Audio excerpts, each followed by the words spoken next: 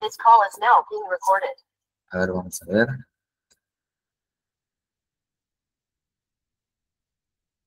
Vamos a ver, vamos a ver.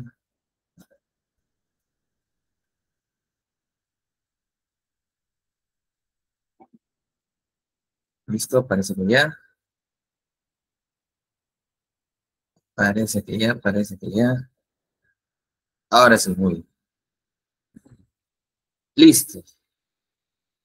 Entonces, el día de hoy nos toca ver, pues, el tema número 5, que es el oficio, la definición, estructura, usos y tipos. Todo acerca del oficio. Vamos a conocer el día de hoy. ¿Qué tal, qué tal? ¿Cómo están? ¿Cómo están? Buenas noches.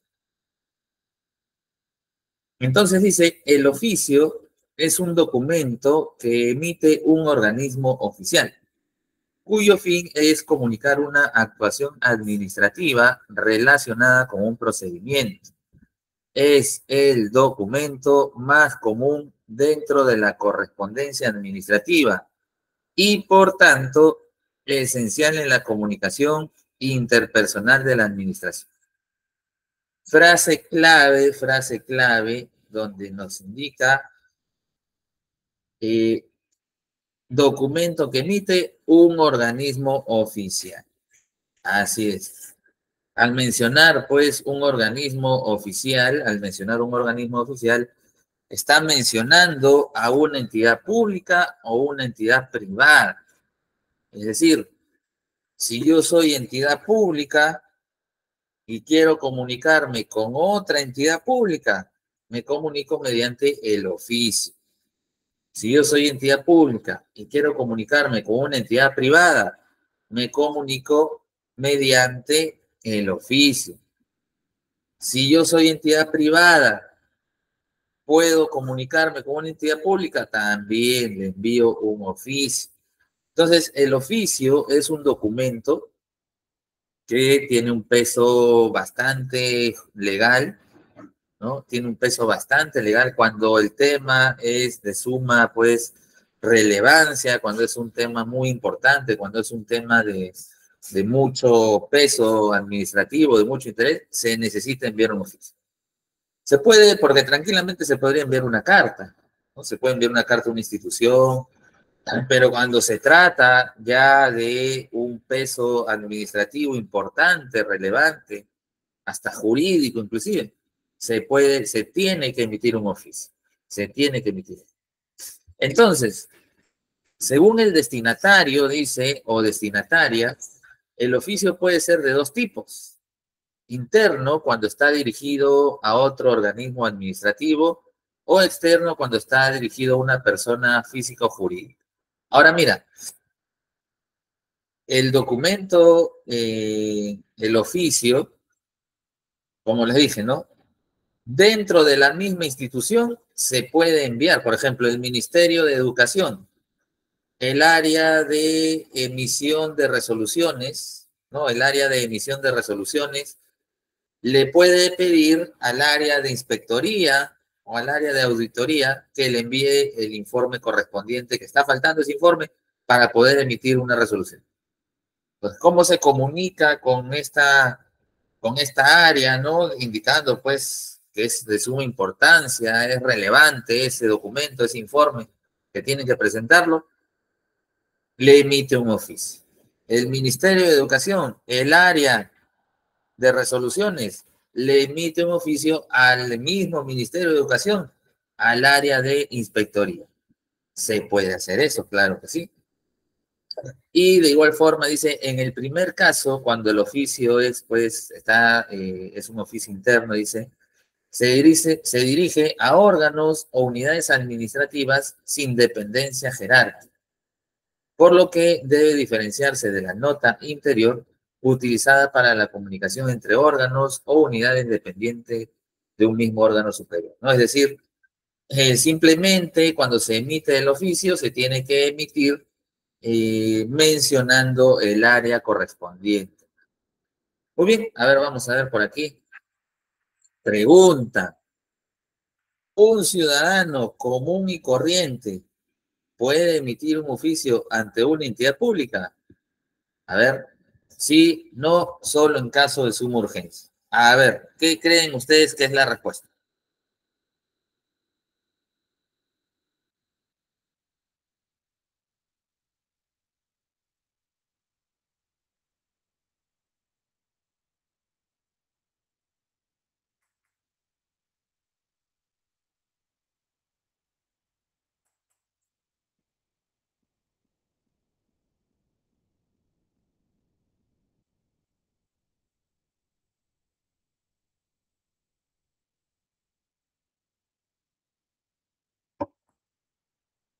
Muy bien, muy bien, muy bien, muy bien. A ver, ¿qué nos dicen por aquí? Vamos a ver, sí, nos dicen, sí, sí. La letra C, solo en caso de suma urgencia. Un ciudadano común y corriente puede emitir un oficio ante una entidad pública. A ver, vamos a ver qué nos dicen por aquí. Muy bien. Y pues la respuesta a esta pregunta es que si un ciudadano puede emitir un oficio ante una entidad pública, la respuesta es no, no puede emitirlo, estimados. La naturaleza del oficio, la naturaleza del oficio es ser un documento netamente de comunicación empresarial. Su naturaleza, la naturaleza del oficio es netamente de comunicación empresarial. De entidad pública a entidad pública, de entidad pública a entidad privada o viceversa. Pero un ciudadano común y corriente no puede emitir oficios ante una institución pública, a menos que este ciudadano esté agrupado de repente en alguna junta vecinal, de repente en algún medio, no junta de propietarios, no junta de propietarios y necesita pues algo, emitir pues un oficio a una a un banco o, puede, o necesita emitir un oficio en la municipalidad del distrito, ahí sí, pero el ciudadano común y corriente, no, yo, Benito Pérez, quiero emitir un oficio, no puede, no se puede. ¿De acuerdo? Muy bien. Ahora, aspectos importantes, el oficio, el oficio tiene un carácter estrictamente oficial y un tono formal neutro, objetivo e impersonal. Tiene un contenido muy concreto. Trata un solo tema referido al expediente en el que se integra. Eso quiere, muy bien, esto es sumamente importante. Los oficios o el oficio que se emite tiene que estar relacionado exclusivamente a un tema en específico. No podemos hacer un oficio o redactar un oficio mencionando pues dos o tres temas diferentes para incorporarlo en un solo documento. No se puede. ¿De acuerdo? El oficio es netamente de un solo tema. Recuerden lo que le vengo diciendo sesión a sesión en cuanto a los documentos. Los documentos tienen que ser claros y concisos. No necesitas, pues, rellenar y rellenar el oficio. Oye, yo veo que muy poquito texto, le voy a meter más texto para que se vea pues más, más llenito. No, error, error. ¿Ya? Entonces, concreto, directo y que se entienda, así, de frente nada, sin palabras técnicas, sin palabras rebuscadas. Se suelen utilizar párrafos breves, ya está. Lo que acabo de decir me lo, eh, me lo dedujo aquí de frente nomás. Se suelen utilizar párrafos breves en los oficios. Se utiliza la primera persona del presente indicativo para el emisor. Comunico, solicito, ¿no? Y la tercera persona del singular. A usted, me dirijo a usted, me dirijo a su despacho. Es un honor dirigirme a usted o la segunda persona del plural, vosotros, vosotras, aunque esto ya no se usa, ¿no? Para los y las destinatarias. Muy bien. Recuerden estos aspectos importantes. El día de hoy, muchachos, se redacta también un oficio en vivo y en directo. También vamos a redactar el día de hoy un oficio en vivo y en directo. La estructura, básico, elemental. Necesitamos también conocer la estructura de un oficio, pues, para poder desarrollarlo sin ningún problema, sin ningún contratiempo, ¿no? A ver, Estructura de un oficio. Muy bien, como primera instancia tenemos pues la cabecera. A ver, y acá en la cabecera cambian muchas cosas en comparación de algunos otros eh, documentos que hemos estado viendo, porque por ejemplo, en esta cabecera, ahora sí estamos viendo la hoja membretada o el logo de la empresa. ¿Ah? A diferencia de los otros documentos, ¿no? Ahora sí tiene que ir o bien la hoja membretada o bien el logo de la empresa. ¿Saben qué es la hoja membretada, no? A ver, indíquenme por favor, ¿qué es la hoja membretada? ¿Saben, no?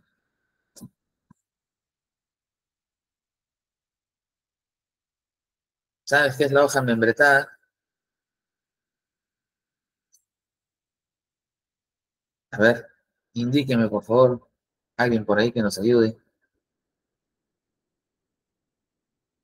¿Qué quiere decir hoja membretada? Dice, ¿no? Porque es, importante que cuando emitamos este documento sea en hoja membretada o sea con el logo de la empresa. Muy bien. La hoja membretada, pues, estimados, la hoja membretada es aquel, aquella hoja, valga la redundancia, donde lleva la información de la empresa. Eh, puede llevarla en la cabecera o puede llevarla al pie de página. El nombre de la empresa, la dirección, el teléfono, el correo electrónico, ¿no? Y el logo, a veces el logo lo ponen como marca de agua en la hoja también. Así es, estimada Jenny. Muy bien, gracias, estimada Jenny. Póngale su puntito a la estimada Jenny, señorita coordinadora, por favor. Póngale un puntito más a la señorita Jenny. Gracias. Muy bien. Entonces, efectivamente, pues, este oficio tiene que ir con hoja membretada. Si no tienes hoja membretada, el logo de la empresa. ¿De acuerdo? Acá sí va, acá sí va, sí o sí, el nombre del año en curso. Acá tiene que ir el nombre del año en curso. Por cierto, ¿cómo se llama el nombre de este año 2024? Me ayudan, por favor. ¿Cuál es el nombre de este año en curso 2024? Todos los años tienen un nombre, ¿no? ¿Cuál es el nombre de este año? Un poquito larguito, es un poquito larguito, pero a ver, vamos a, vamos a ver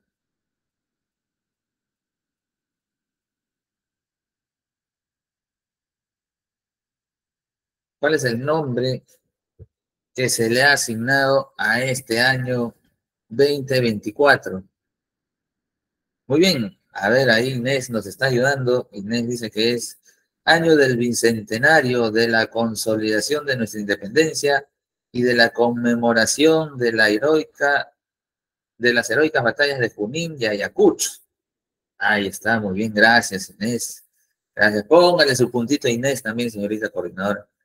Muy bien, muchas gracias, muchas gracias. Efectivamente, ¿no? Mira cómo se llama este año. Año del bicentenario de la consolidación de, nuestra independencia y de la conmemoración de las heroicas batallas de Junín y Ayacucho. Un poquito larguito, ¿no? Pero así es, cada presidente, cada presidente de turno decide el nombre del año, ¿no? Muy bien. Sí o sí, tiene que ir entonces logo, nombre del año y después viene la fecha. En la parte superior derecha o hay modelos que aceptan la fecha también en la parte superior izquierda. Luego viene el título con el número de oficio. Oficio número 024 guion, guion eh, no, oficio, oficio número 030-2024- las iniciales de la empresa. ¿no? Ahí está, entonces, título con el número de oficio. El destinatario, ahora viene la parte del destinatario. Mencionar siempre el señor o el señor abreviado, señora, señora abreviado. Seguidamente el nombre de la persona a quien va dirigido el oficio, el cargo o área donde se desempeña y por último el nombre de la institución. Posteriormente también hay que colocar el asunto. Ahí está. Entonces, mira, cuando iniciemos, señor todo junto abreviado, señora, todo junto o abreviado. Si conocemos el oficio o la profesión de esta persona, si conocemos la profesión de esta persona, reemplazamos el señor o señora por su profesión. Ingeniero Alberto Báez, doctora eh, Rosa Merino, arquitecto, licenciado, ¿qué más hay? Contador. Entonces, si conocemos, si conocemos pues su profesión, lo reemplazamos por el señor o la señora. ¿De acuerdo? Debajo del señor o señora, el área donde se desempeña, debajo el nombre de la institución. Ahí está. Muy bien. Listo. Eh, iniciar, ahora viene después del asunto, ¿no? También se pone asunto, ahora viene el cuerpo. Iniciar con la frase de mi consideración o sus símiles, ¿no? Por ejemplo, tengo el agrado de dirigirme a usted, es de mi especial consideración saludarlo, ¿no? Entonces, puede ser cualquiera de esas frases, pero que tengan ese sentido, tengan ese sentido de apertura, ese sentido de saludo, ¿no? Tiene que tener ese sentido. Muy bien. Una vez que redactas, pues, ¿para qué estás emitiendo este oficio? ¿Para qué estás queriendo eh, que te hagan caso mediante este oficio? Viene la parte del cierre. Y en el cierre viene sin otro en particular, hago propicia la oportunidad para manifestarle, bla, bla, bla. ¿No? El cierre. Puede ser cualquier otra frase también, pero que tenga ese sentido de cierre, ¿no? Que tenga esa, ese sentido de que ya estamos despidiéndonos en ese documento. Luego viene el atentamente y firma y sello de quien corresponde. ¿De acuerdo? Muy bien, entonces, con estos conocimientos, con estos conocimientos, vamos a elaborar un caso práctico. A ver, dice, la empresa AM Medixac es un centro médico dedicado a las evaluaciones de salud ocupacional y exámenes médicos para choferes que quieren tramitar su licencia de conducir. El día 1 de febrero del presente se atendió el señor Juan Pérez Acevedo, cometiendo un error en la digitación de su información al colocarle restricción de usar lentes cuando el señor tiene una perfecta visión. Allá. Al estar el centro médico ligado al sistema del Ministerio de Transportes y Comunicaciones, se tiene que enviar un oficio a dicha entidad para poder subsanar el error cometido. Entonces se pide elaborar un oficio pidiendo la modificación de esa restricción. Entonces, para que se entienda este ejemplo, cuando uno quiere tramitar su licencia de conducir, su brevete de conducir, primero tiene que sacar un examen médico, ¿ya? Para eh, medir, pues, que efectivamente está bien de la vista, está bien de la audición, está bien de los reflejos, no, no tiene ninguna enfermedad pues que pueda perjudicarlo al manejar, ¿no? De repente Parkinson, eh, Alzheimer, cualquier otra enfermedad. Pues para eso se necesita un examen médico antes de que tramite su licencia. Pero ahora, esta licencia, este examen médico tiene que ser en un centro médico que está pues ligado o asociado con el Ministerio de Transporte. Inclusive ahí nos dice, los centros médicos que hacen esta evaluación tienen un sistema del Ministerio de Transportes y el Ministerio de Transportes recibe pues esa información en el tiempo real, ¿no? Si viene el Benito, Benito Robles, viene Benito Robles a atenderse, yo le coloco, ok, perfecta visión, escucha bien, no tiene, tiene buenos reflejos, no tiene enfermedades, su tipo de sangre es O positivo, pa, y el Ministerio de Transporte, toda esa información que ingresé, lo recibe en tiempo real. En vivo y en directo lo recibe el Ministerio de Transporte. Pero ahora acá hay un problema, porque vino el señor Juan Pérez Acevedo y al momento de pasar su evaluación de oftalmología para ver su visión, resulta que ve perfectamente. Pero el doctor de oftalmología se equivocó y le colocó en el sistema que tiene que ponerse lentes. Entonces, no se puede hacer modificatorias en el sistema, así es que hay que enviar un oficio al Ministerio de Transporte para que la información que le llegó del señor Juan Pérez Acevedo le modifiquen el tema de eh, el uso de lentes. ¿De acuerdo?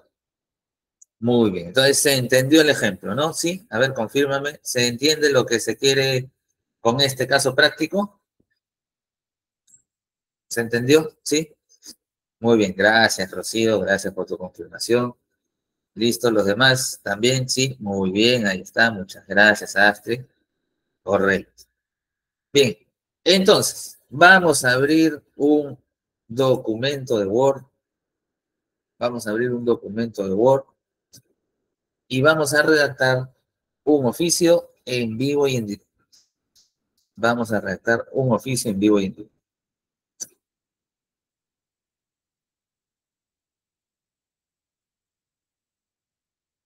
Listo, acá, documento en blanco. Ya está. Muy bien. Ahora, voy a tener acá lo que me pedía de los las partes del oficio. Ah, acá está. Vamos a iniciar con la cabecera. Vamos a iniciar con la cabecera. Entonces, en la cabecera me dice que yo tengo que iniciar con la hoja membretada o el logo de la empresa. Ok. Entonces, vamos a meterle un logo aquí para que se vea pues tal cual. ¿De? Mira, Vamos a insertar una imagen en línea. ¿Sabes insertar imagen en línea? No. Mira, tienes que ir a la parte superior, superior donde dice insertar. Insertar y busca donde dice imágenes en línea. Acá está. Imágenes en línea. Mira, te va a salir un cuadrito. Te va a salir un cuadrito y vamos a esperar acá que Word me lance, pues, algunas imágenes que tiene para nosotros. Esto es rápido en realidad, pero como estoy transmitiendo en vivo desde la, desde la Meet, me está demorando, ¿no? Pero si tú ya lo abriste, ya lo debes tener ya ese cuadrito.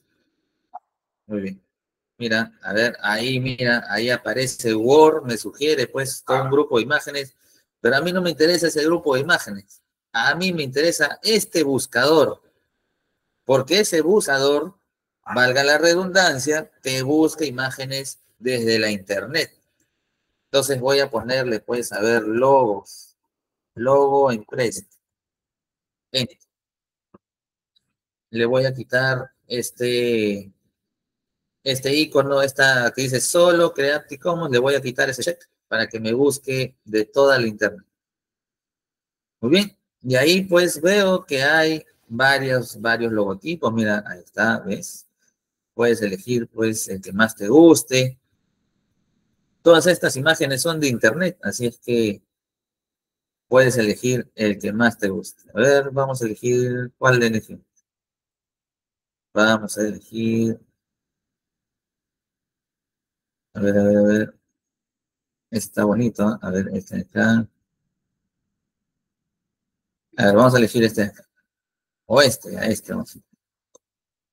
Insertar. Elígele el que más te guste, el que tú quieras. Listo, ahí está. Y lo vamos a lo vamos a reducir el tamaño, ya que está en modo gigante. Reduce el tamaño. Ahí está. Listo. Ya tenemos nuestro logo. Ya tenemos nuestro logo. Ahí está. Muy bien. Ahora, después del logo, ¿qué es lo que viene? El nombre del año, ¿no? Eso, recuerden, ya tenemos que dejar ajustado la letra Arial, ¿no? Acá le ponemos Arial 11, ¿no? Aunque el, nombre del año, como es un poquito largo, vamos a tener que reducirle el, el tamaño. Bueno, ahí vamos a escribir primero el nombre, después lo ajustamos. Recuerde que el nombre va en todo el centro, ¿no? En todo el centro va. A ver.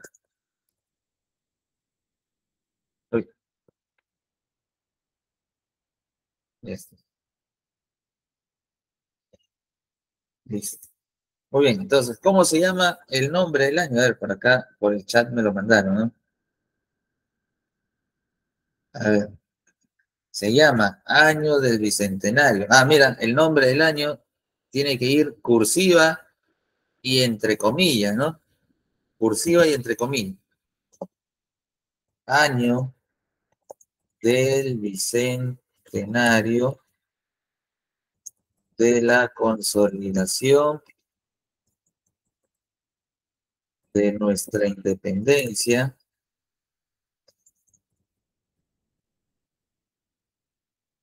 y de la conmemoración de las heroicas batallas de Junín y Ayacucho. Ahí está. Muy bien. Este es el nombre del año, entonces, año del Bicentenario de la consolidación de nuestra independencia y de la conmemoración de la heroicas batalla de Junín y Ayacucho. Esto, de comillas. Y vamos a tener que reducirle pues el tamaño un poquito. A ver. Esto lo subimos por aquí. Ahí está. A ver. Vamos a reducir el tamaño a 9 o 10. 10 será. 10 está bien.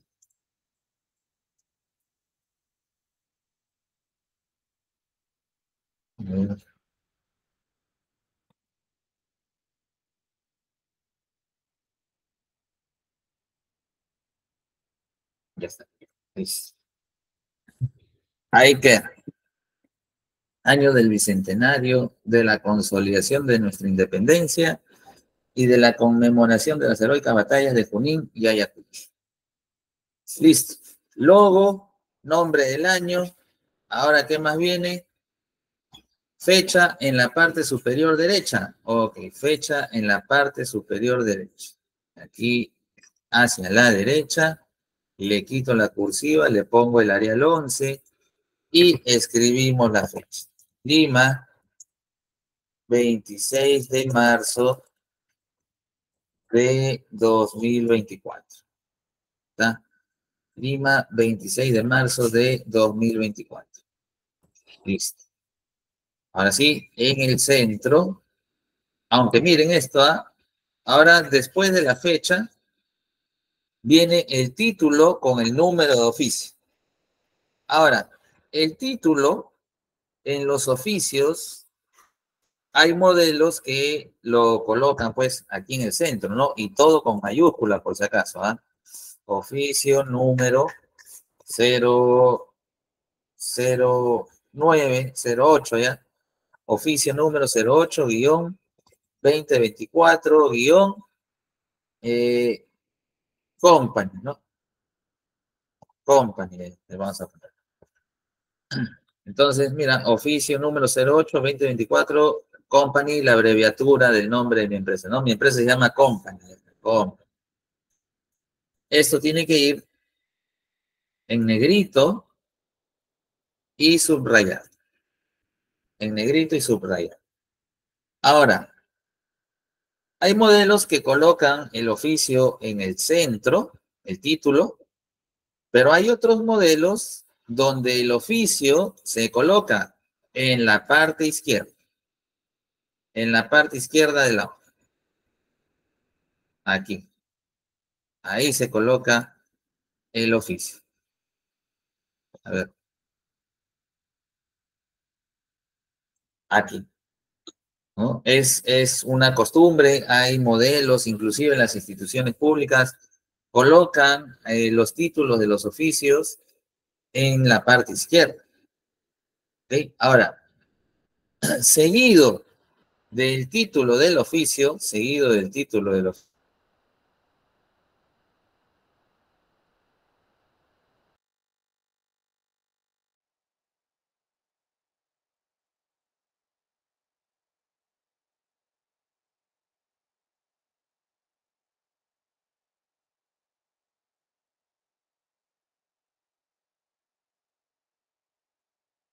Eh,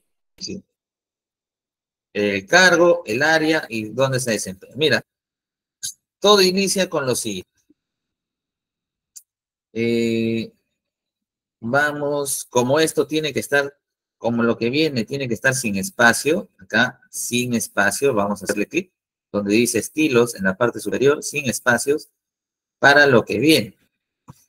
Y le acomodamos acá el Arial. Arial 11, ahí está. Muy bien. Entonces, ¿con qué inicia esto? Esto inicia con el famoso señor, dos puntos, o señora, dos puntos.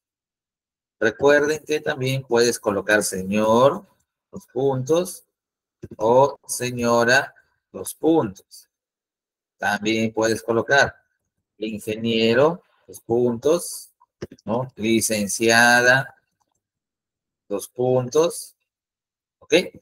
Entonces, vamos a colocar, a ver, señor, dos puntos, y debajo vamos a colocar, señor, eh, Humberto, Tarazona, Tarazona, Tarazona, caramba. Paz. Señor Humberto Tarazona Paz. Jefe del área de sistemas. Jefe del área de sistemas. Está, mira. Señor Humberto Tarazona Paz, jefe del área de sistemas. Y debajo le colocamos Ministerio de Transportes y Comunicación. Yo, MTC. Ahí está, mira, señor Humberto Tarazona Paz, jefe del área de sistemas, Ministerio de Transportes y Comunicación. ¿Qué es lo que se suele colocar en negrita en estos casos? Solamente el nombre y el área. Ahí está, nombre y área. Señor Humberto Tarazona Paz, jefe del área de sistemas, Ministerio de Transporte y Comunicaciones. Como este documento, pues, está siendo presentado, está siendo presentado en la entidad del Ministerio de Transportes, no es necesario un negrito como para resaltar que tiene que ir al Ministerio de Transporte, ¿no? Porque si ese documento está en esa institución es porque va para, esa institución, entonces no es necesario resaltarlo con un negrito, pero sí a quién va y en qué área se encuentra. Entonces, eso es lo que se suele resaltar siempre en negrito, ¿no? El nombre de la persona y el área en el que trabaja. Entonces, mira, hemos colocado el señor, ¿no? Mencionar siempre señor, señora, seguidamente el nombre de la persona, acá está, seguidamente el nombre de la persona, eh, el cargo o el área donde se desempeña. Acá, ¿no? Jefe del área de sistemas. Jefe del área de sistemas. Y por aquí tenemos, y por último, el nombre de la institución. Acá tenemos el nombre de la institución. El nombre de la institución completa y con su abreviatura. ¿De acuerdo? Muy bien.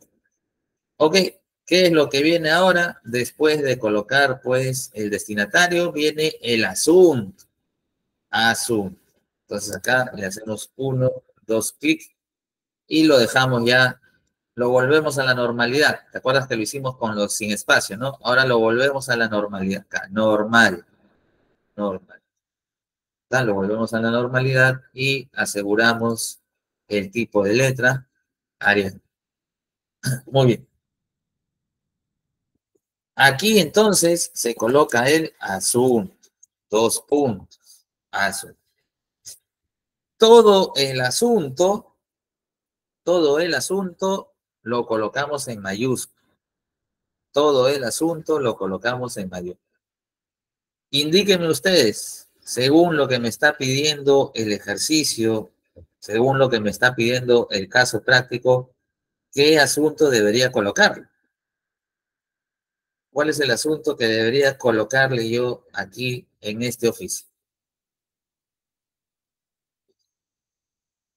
¿Cuál es el asunto que debería colocarle yo en este oficio que estoy armando?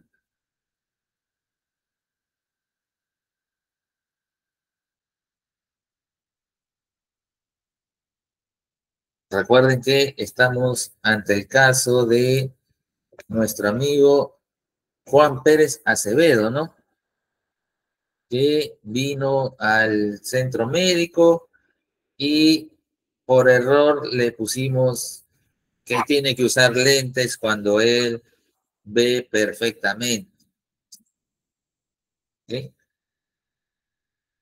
Muy bien, muy bien, muy bien, muy bien. Muy bien, Jenny, subsanar error.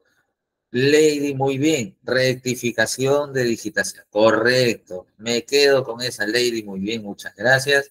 Señorita coordinadora, un puntito más para Lady, por favor. Ok. Muy bien. Entonces, en el asunto, si bien es cierto, Jenny, también estás en lo correcto, pero hay que ponerlo un poquito más estructurado, ¿no? Recuerda que es un documento que está lleno a una institución del Estado. Entonces, efectivamente, podemos colocar rectificación en digitación. Rectificación en digitación, evaluación médica. Ya está. Así le vamos a colocar. Asunto, rectificación en evaluación, rectificación en digitación, evaluación médica. Ya está. Asunto en negrito. Eh, algunos le colocan todo asunto en negrito, en realidad también. Todo asunto en negrito, así le colocan, ¿no? Vamos a separarlo un poquito más de lo de arriba. Ahí está. Asunto, rectificación en digitación, evaluación médica. Ahora sí.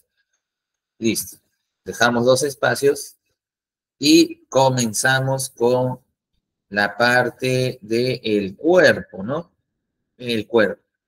Tiene que iniciar la frase con eh, de mi consideración o tengo el agrado de dirigirme a usted, aunque ese suena mejor, ¿no?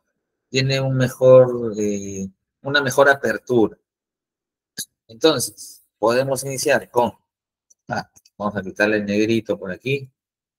Podemos iniciar con, tengo el agrado de dirigir de dirigirme a usted,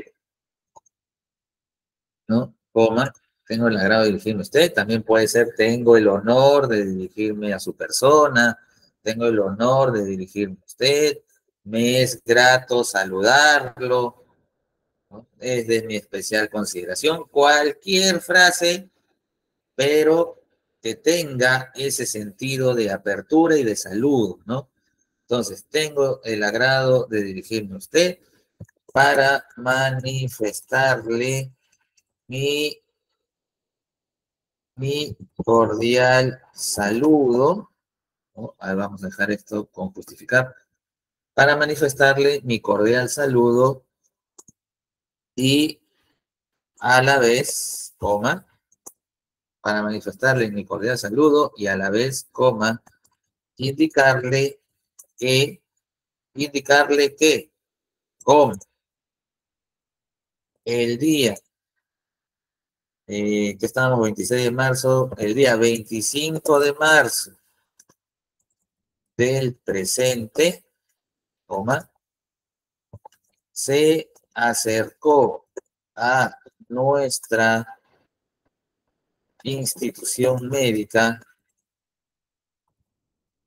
médica AM Medic coma, tengo el agrado, a ver, hasta ahí, tengo el agrado de dirigirme a usted para manifestarle mi cordial saludo y a la vez indicarle que el día 25 de marzo del presente se acercó a nuestra institución médica AM Medixat el señor, el señor Juan Pérez Acevedo, todo con mayúscula, identificado con DNI número eh, 43434343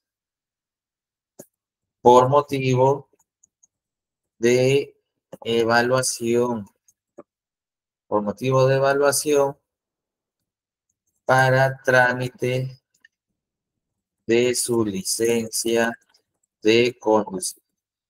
Punto. A ver, hasta ese momento tengo el agrado de dirigirme a usted para manifestarle mi cordial saludo y a la vez indicarle que el día 25 de marzo del presente se acercó a nuestra institución médica AM Medixac el señor Juan Pérez Acevedo, identificado con DNI número 43434343 por motivo de evaluación para trámite de su licencia de conducir. Punto seguido.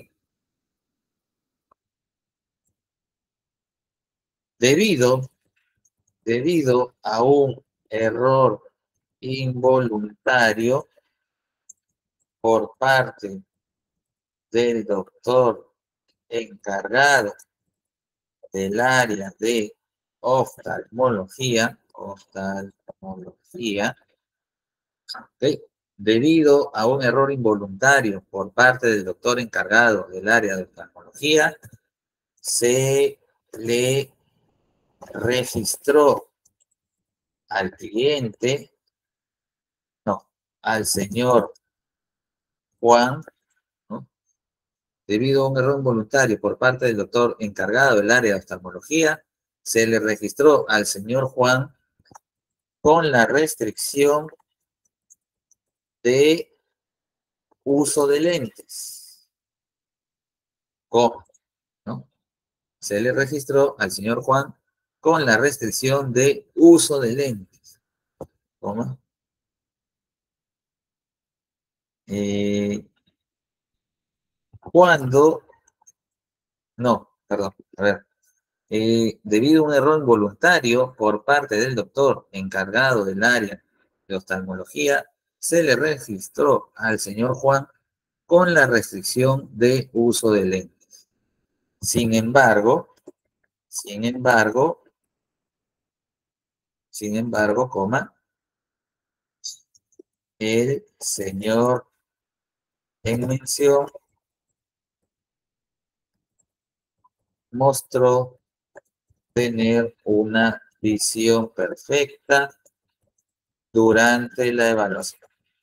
Ahí está, mucho mejor, más ordenadito, ¿no?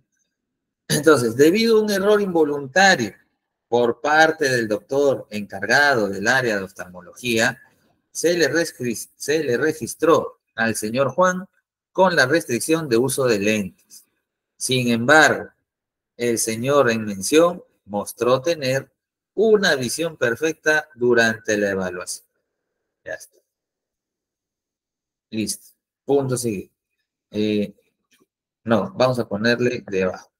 Punto aparte. Por tal motivo, ¿cómo?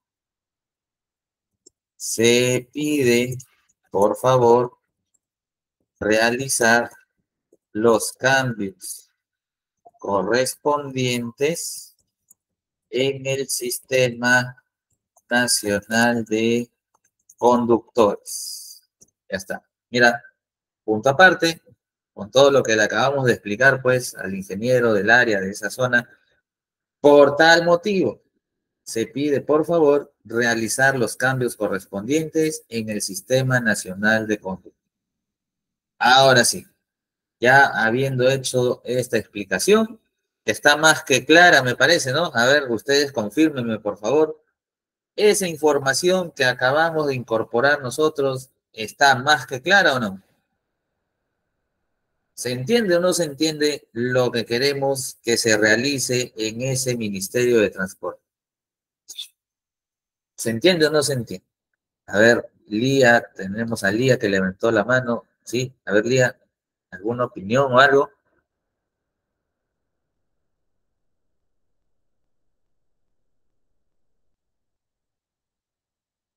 ¿Sí? ¿No? ¿Sí? ¿No? ¿Sí? ¿No? Ok. Listo, entonces se entiende, ¿no? Se entiende todo ese texto que acabamos de incorporar para que el Ministerio de Transportes haga el cambio que necesitamos del señor Juan Pérez Acevedo y no lo, no lo deje con lentes, ¿no? Porque si lo deja con lentes, cuando el señor vaya a recoger su brevete, va a salir que tiene que usar lentes. Y durante 10 años, 10 años duran los brevetes, imagínate el señor poniéndose unos lentes cuando no necesita todo por nuestra culpa. ¿Ok? Muy bien. A ver, Lady nos dice, profesor, se pide por favor, por favor, no es una expresión informal. Ok, a ver, muy bien, vamos a ver cómo podemos acomodar. Nuestra compañera Lady dice, por tal motivo, se pide, por favor, realizar los cambios. Ah, podemos quitar el famoso por favor, ¿no? Mucha cordialidad, porque en realidad debería ser por tal motivo. Se pide realizar los cambios correspondientes en el Sistema Nacional de Conducta. ¿Es correcto, estimada Lady? ¿Es correcto? ¿Sí o no? ¿Qué opina usted? Por tal motivo, se pide realizar los cambios correspondientes en el Sistema Nacional de Control. ¿Suena mejor? ¿Se ve mejor? ¿Sí? ¿Qué opinan ustedes? Se ve mejor, ¿no? Tiene razón. Ese, por favor, fue demasiada cordialidad y le pide, le quita, pues, un poquito de formalidad. Tiene razón, estimada Lady, gracias por su aportación. Entonces, por tal motivo, se pide realizar los cambios correspondientes en el Sistema Nacional de Conducta. Listo. Vamos a la parte del cierre, entonces, a partir de aquí. Ahora, el cierre tiene que tener, pues, eh, acá como dice, sin otro en particular, sin otro en particular, hago propicia, ahí está. ¿Qué otras frases acompañan los cierres? A ver si me ayudan, por favor. ¿Qué otras, ¿Qué otras frases también acompañan a los cierres? ¿Con qué podría iniciar el cierre sin este famoso, sin otro en particular? A ver, ayúdenme.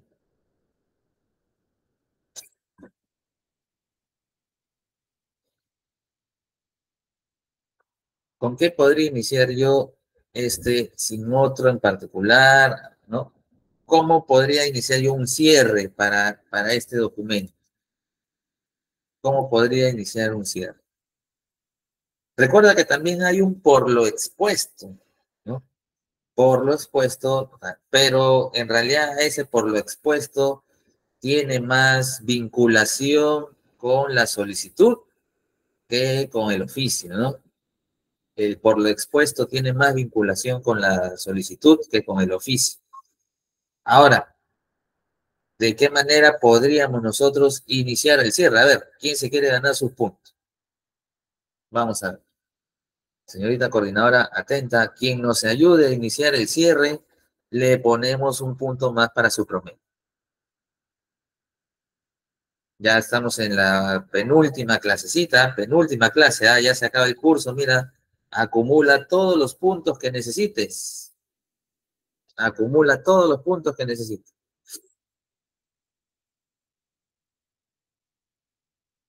A ver. A ver, a ver, a ver. ¿Quién me indica cómo puedo iniciar yo un cierre aquí? Y se gana su punto. Porque lo que nos sugiere, a ver, eh, muy bien, a ver, Jenny nos dice, quedo a la espera de su confirmación. Ya, ok, ok, ok, puede ser, aunque, estimada Jenny, agradezco, agradezco, estimada Jenny, eh, ese quedo a la espera de su confirmación no es tan, no es tanto que se coloque en un oficio, ¿no? A ver, Ángela, Ángela nos dice, Cordiales saludos de antemano. Ok, gracias Ángela también. Y por último, para finalizar, eh, eh, no, no tanto así tampoco Lady, porque esto, ese por último, para finalizar, no es tanto, no es tan formal, llamémoslo así. Eh, ah, muy bien, Astrid, a nos dice, me despido, quedando en su pronta respuesta. ¿Ok? A ver, vamos a ver. Vamos a ver, vamos a ver. Muchas gracias. En realidad, estimados y estimadas, aunque estimadas son las que nos han estado comentando, eh, esos, esos indicativos que ustedes me están colocando en el chat, ¿ya? No es materia tanto de un oficio.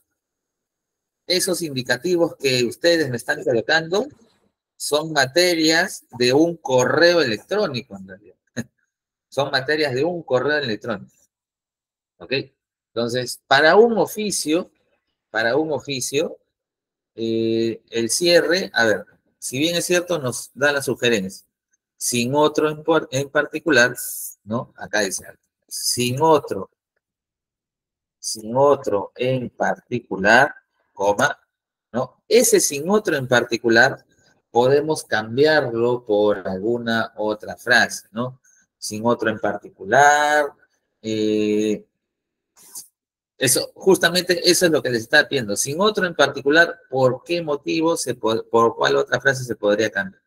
¿No? Porque la frase correcta, siguiendo este, ese alineamiento o, esa, o ese patrón que tiene el oficio, el cierre siempre se da con sin otro en particular.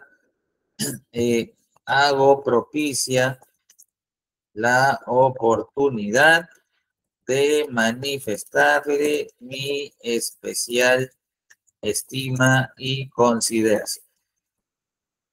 Así termina la mayoría de los oficios. La mayoría de los oficios termina con sin otro en particular, hago propicia la oportunidad de manifestarle mi especial estima y consideración. Así, con un poquito de, franelita, con un poquito de franelita siempre, siempre se le pone su, su poquito de franelita, ¿no? Muy bien, entonces, ese sin otro en particular, eh, Lady nos dice, va a ver, sin otro motivo, ¿no? Eh, bueno, podría ser, podría ser también sin otro motivo, sin otro en particular, ¿ok? Hago propicia la oportunidad de manifestarle mi especial estima y consideración. Ya está. Listo. Después de esto, ¿qué es lo que viene? Después de esto viene el famoso atentamente. Ahí está, muy bien, Wilfredo. Wilfredo también nos acompaña. Dice, sin más, por el momento, le anticipo mi agradecimiento. Ya está. Correcto. Muy bien, Wilfredo, también me gusta. Vamos a ponerle un punto a todos los que han participado. Señorita coordinadora, si está usted ahí, por favor, todos los que me acaban de comentar en el chat, póngale un punto más a su pregunta. Muy bien. Entonces, aquí atentamente y vamos a colocar, pues, eh, acá no debería ir Juan Pérez Acevedo. Acá debe ir el, el gerente de esta empresa, ¿no? De AM Médico. Entonces acá lo colocamos en el centro, sin espacios, ¿no? En el centro vamos a ponerle que el gerente se llama, pues, a ver, eh, Pablo Agramonte. Pablo Agramonte Ruiz. Ya está. Gerente, gerente general AM Medic Saco. Ahí está bien. Acá colocamos todo esto en negrito. Le insertamos su rayita.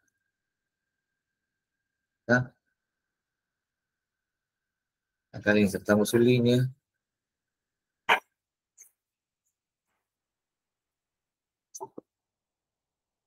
Bien, negrito.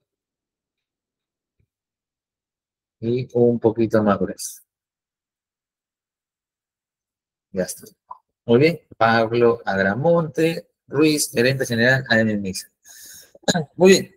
Eh, a ver, eh, el señor Wilfredo nos dice, creo que a mi parecer es en función al cuerpo del oficio que se realiza y las despedidas. Ok, me gusta, me gusta, me gusta, me gusta, claro que sí. En función al cuerpo del oficio que se realiza, las despedidas. Correcto, muy bien, Wilfredo, me gusta, me gusta. Eso lo podemos incorporar también, claro que sí. A ver, vamos a darle acá. Recuerden que todo oficio, todo oficio tiene que ir con sello y firma. Recuerda que es un documento que va entre instituciones, ¿no? Va entre instituciones, así es que todo oficio tiene que ir entre eh, y firmas. ¿De acuerdo? Entonces, a ver, según lo que estoy viendo aquí, según lo que estoy viendo aquí, la proporción o la distribución de mi oficio, a ver cómo me queda. ¿no? Para que no me sobren espacios en la hoja. Entonces, mira cómo está quedando el oficio, ¿ah? Mira, ¿quedó o no quedó? ¿Tiene pinta de documento oficial o no? Acá está, muy bien. El logo, el año, la fecha, el título del oficio, el destinatario, el asunto, el cuerpo bien ordenadito, todo. Y acá está correcto, tiene una distribución adecuada. Muy bien, entonces importante, importante recordar, la fecha puede ir aquí a la derecha o puede ir aquí a la izquierda. Aquí a la izquierda. ¿De acuerdo? A ver. Ahí. Puede ir a la derecha o puede ir a la izquierda. Aquí también. El título puede ir aquí a la izquierda o puede ir acá en el centro. También, no hay ningún problema. ¿De acuerdo? Pero obviamente si va aquí en el centro, el destinatario tendría que ir pues un poquito más abajo, ¿no? Recién ahí el destinatario. Así se vería, así se vería si es que el oficio decides colocarlo en el centro. ¿De acuerdo? Pero si lo colocas a la izquierda, así se vería en temas de espacio. Ahora, el destinatario, que ya lo hemos colocado, el señor, señora, nombres completos, el área donde trabaja y el cargo, eh, la institución. ¿Qué pasaría si nosotros no conocemos el nombre de la persona de, de, quien va a dirigir el oficio? ¿Cómo, ¿Qué pasaría si no sabemos el nombre de la persona a quien va a dirigir? Entonces, le borramos el nombre y queda solamente dirigido al puesto que ocupa. Señor jefe del área de sistemas, Ministerio de Transportes y Comunicación. ¿No? Señor o señora, ingeniero, ingeniera, doctor, doctora, licenciado, licenciada, jefe del área de sistemas, Ministerio de Transportes y Comunicaciones. Eso para los casos en los que no conozcamos el nombre de la persona. ¿De acuerdo? Lo dirigimos entonces a el puesto que ocupa. Bien, listo. Acá, acá, acá,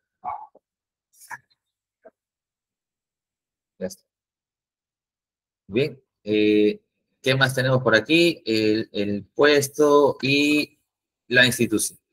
El asunto, todo en mayúscula y, en negrito, ¿no? Recuerda que el asunto es el título prácticamente del oficio.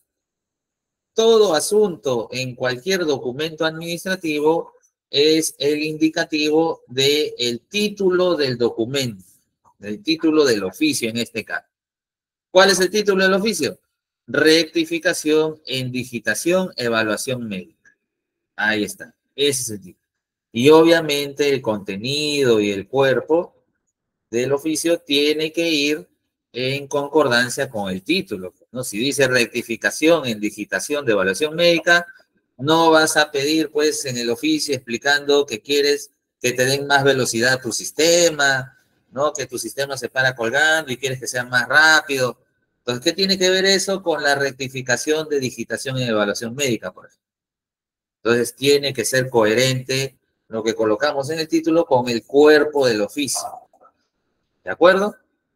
Muy bien. Ahora, eh, también se acostumbra a que el cuerpo del oficio, se acostumbra a que el cuerpo del oficio tenga un interlineado. ¿De acuerdo? Este interlineado, miren, el interlineado que tenemos aquí, donde dice párrafo, acá tenemos un icono que se llama espaciado entre líneas y párrafos.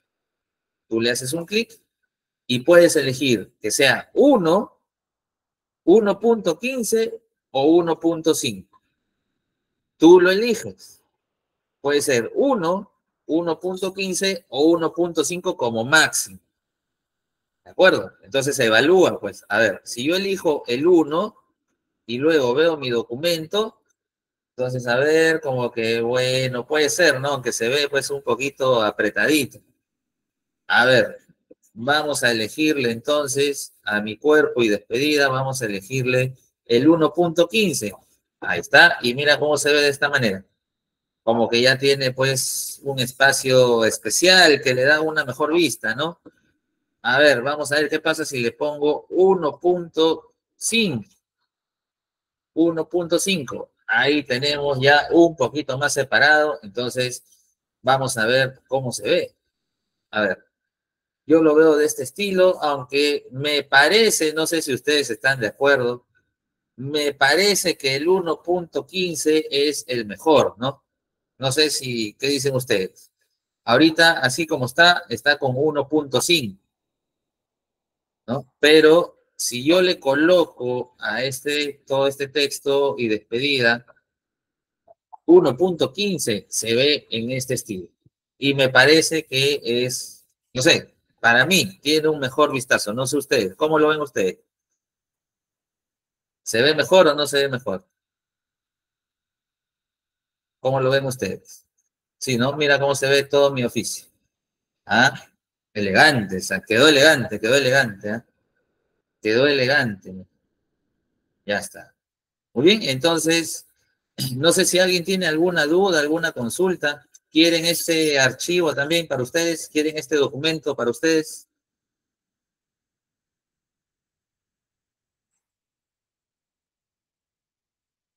¿Sí? ¿Quieren este documento? ¿Quieren este archivo? ¿Sí? ¿Alguna duda, alguna consulta? Ok, mira, quedó bacán, ¿ah? Quedó elegante. Y como les dije, y les vuelvo a recalcar, y siempre se lo voy a recalcar, no necesitas palabras técnicas, ni rebuscadas, ni rellenar por rellenar. Tu caso, lo que quieres contar, directo y conciso. Este documento, por ejemplo, si fuera un caso de la vida real, este documento ya está listo para presentar. ¿no? Y yo sé que me lo van a recibir y no va a haber ninguna observación porque todo lo que le he puesto en el contenido está correcto. Está ordenado, está claro, está conciso, ¿no? Entonces, si este fuera el caso, este documento está listo para ser presentado en el Ministerio de Transporte. ¿Ok? Entonces, no necesitas más, no necesitas floro, no necesitas eh, palabras rebuscadas, palabras técnicas, nada. Así como está, ya está listo. Hay que buscar nada más como por ahí, eh, ustedes alumnos me han estado acompañando por el chat, hay que buscar la formalidad nada más, ¿correcto? Así que eso, eso, es lo, eso es lo único que hay que hacer. Buscar la formalidad y cuidar la ortografía también, ¿no? Adecuadamente el uso de las comas, las tildes, las mayúsculas, ¿no? Muy bien. Listo, muchachos. Entonces voy a guardar este documento y bueno, si no hay alguna otra consulta, eso sería entonces todo nuestra, nuestro tema del día de hoy. ¿Ok? Toca agradecer entonces a todos y cada uno de ustedes. Ah, a ver, por acá justo viene Astrid con una preguntita. A ver, Astrid nos dice, profesor, si existe, en caso en que la empresa no esté gerente para firmar el oficio, se coloca la firma virtual, no hay problema. Ah, muy bien, Astrid. Mira, buena pregunta, Astrid, buena pregunta. Eh, ¿Qué sucedería si justamente nuestro amigo Pablo Agramonte está pues en la selva? Está en el monte, Pablo Agramonte está en el monte ¿Qué hacemos nosotros con la firma del, gerente general? Mira, algunas instituciones, ya, algunas instituciones te permiten la firma digital. Es decir, le colocamos aquí pues la firma digital, ya lo acomodas bien bonito acá la firma digital, lo imprimes y lo llevas. Te lo permiten. Algunas instituciones te lo permiten. El Ministerio de Transportes, por ejemplo, yo en algunos momentos he tramitado este tipo de documentos y sí, con firma digital te lo aceptan. ¿Ok? Pero obviamente tiene que ser una firma adecuada, pues no tiene que ser una firma que, que, parezca firma, ¿no? Que no parezca pues una imagen bajada de internet ni nada por el estilo. Entonces, el ministerio te lo permite. Ahora, otra alternativa, otra opción es que eh, se ingrese este documento con firma digital por mesa de partes virtual. ingresando este documento por mesa de partes virtual, eh, con firma digital te lo acepto. Si se va a presentar de forma física, puedes establecerle aquí la firma digital, ¿de acuerdo? Puedes establecerle aquí la firma digital y esperar pues que no haya ningún problema. Por algunos ministerios por ahí se ponen un poquito especiales, pero por ejemplo el Ministerio de Transporte yo he tramitado con firma digital y no ha habido problema. Me firmaron mi cargo, me pusieron mi código y ya está. Entonces, eh, habría que tener, estimada Astrid, respondiendo a tu pregunta, habría que tener un poquito de suerte dependiendo de la institución que vaya. Muy bien. Gracias por tu pregunta. Gracias por tu pregunta. Muy bien. ¿Alguna otra consulta por ahí? ¿Alguna otra duda? ¿Alguna otra consulta? Gracias, gracias a ti. ¿Alguna otra duda? ¿Todo claro? ¿Todo ok?